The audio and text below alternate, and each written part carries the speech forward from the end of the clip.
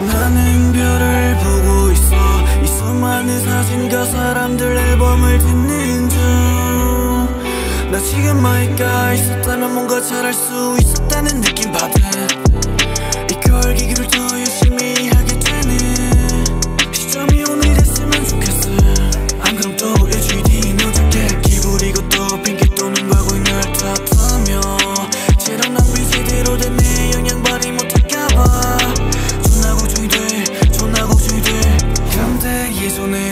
나는 이랬지. 근데 예전에도 나는 이랬지.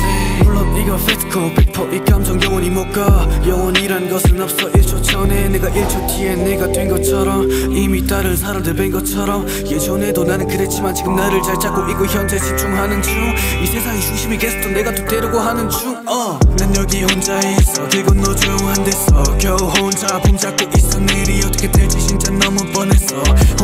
맘이 돈이었어 그냥 투잡이나 뛸까 생각 중이다가 누구한테서 갑자기 전화가 왔어. 예전부터 친했던 사람이 시기를 친구가 중요하나 보다 근데 왠지 슬프네.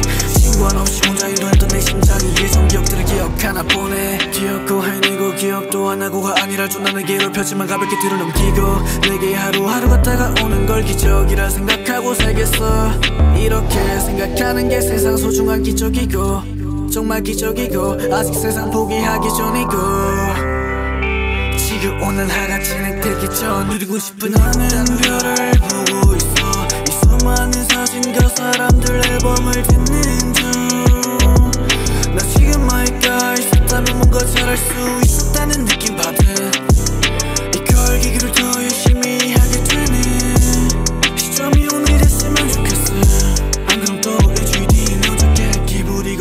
핑계 또 눈과 고인을 탓하며 재량 낭비 제대로 된 내 영향 발휘 못할까봐 존나 걱정이 돼 존나 걱정이 돼